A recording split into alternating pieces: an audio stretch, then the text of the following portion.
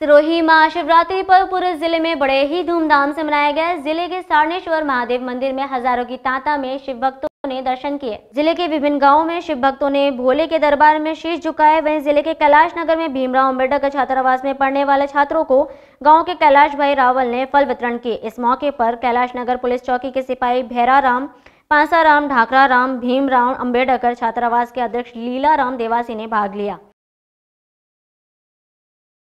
Subscribe करें। ऐसी और वीडियोस को देखने के लिए बेल आइकन पर क्लिक करें।